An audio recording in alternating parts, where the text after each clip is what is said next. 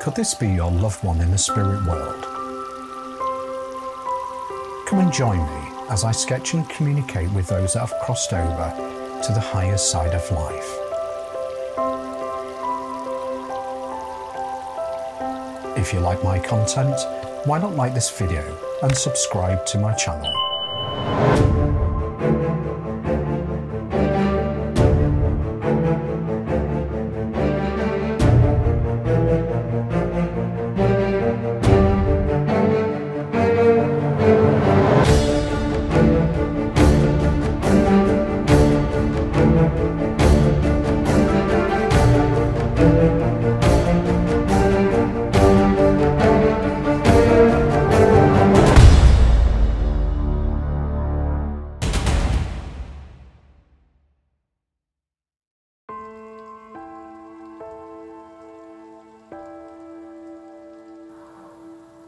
As I open up to the spiritual realms, a lovely young girl steps forward to me.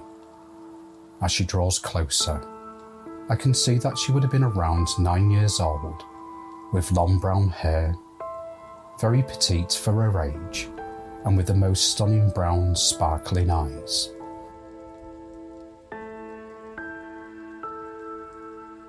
At this stage, I make the decision to draw her quickly, capturing her essence and then to add some colour to my sketch. It has been many years since I've used colour, and I do hope that it brings life and justice to her sweet angelic features.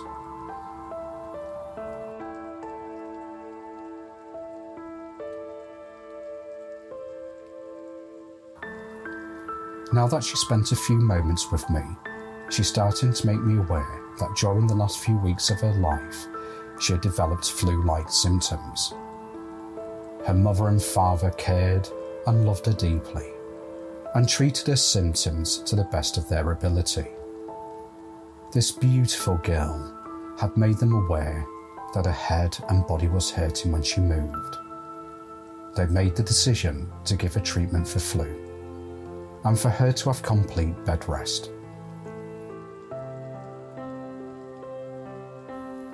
As the days progressed, she had not improved and the parents had made the decision that they would give her another couple of days, and should she not get any better, then they will call for the doctor. The following morning, when the parents went to do their checks, her body laid still and unresponsive. Sadly, she had passed away.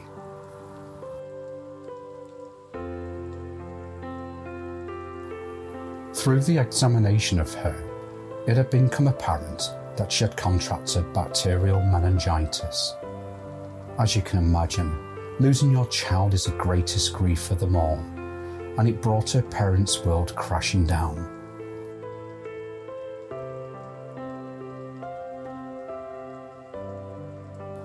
Over the years, they'd continually blamed themselves for not realising that there was a bigger problem than just flu it had been torture for them.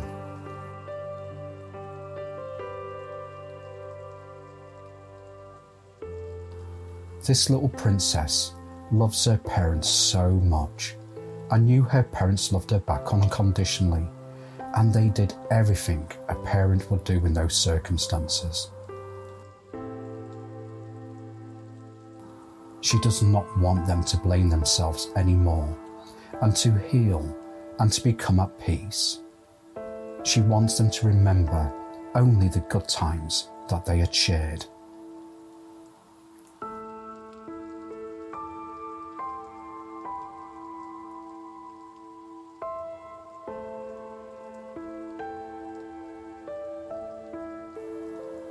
As this young lady connects with me further, she's making me aware that she's been over in the world of spirit for around 20 years and would almost be 30 now. She makes me aware that around the 17th of January is a key period, perhaps a birthday or anniversary, that would have great meaning to the family.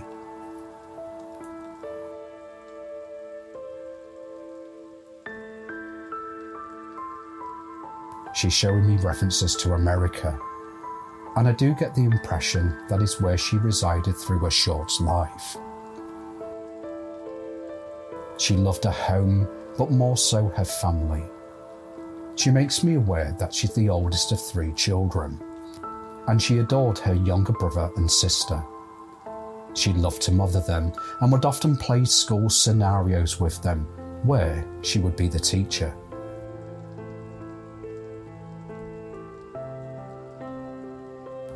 She was methodical in her thinking, and one day could have made a very good teacher of some kind as a career choice.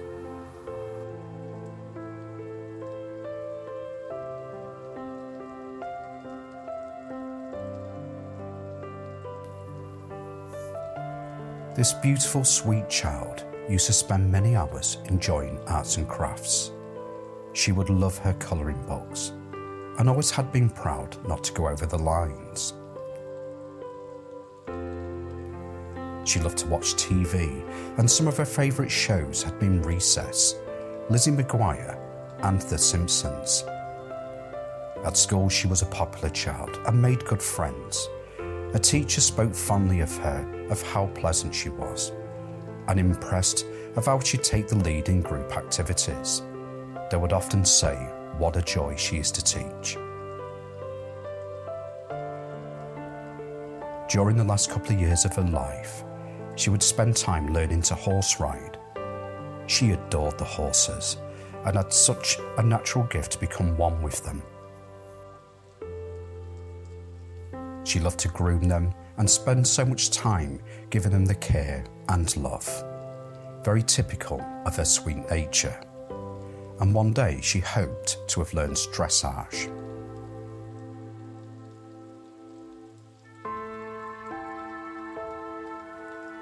She's also making me aware that another passion of hers was learning the piano. She had a lot of patience practicing, learning as much as she could, and showing great potential for her age. Before she got sick, I know that she was learning Für Elise. As this session draws to the end, there were some names that was given that I felt were significant to this sweet child. The name of Teresa, Rebecca, and Rachel seemed very important. There were some other names, but I couldn't quite make them out. She made it clear that she wanted her family to know at the very end that she never suffered and gently went to sleep, and there was some form of grandparent that came to collect her.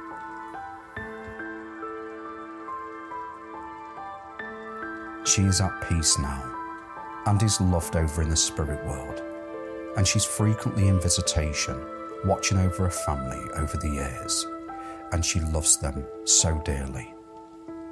I do hope that this finds its way to her family.